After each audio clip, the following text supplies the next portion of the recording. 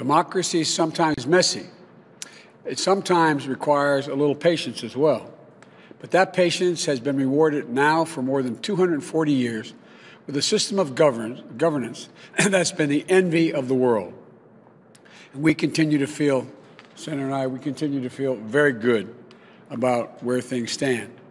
We have no doubt that when the count is finished, Senator Harris and I will be declared the winners. So I ask everyone to stay calm, all the people to stay calm. The process is working. The count is being completed, and uh, we'll know very soon.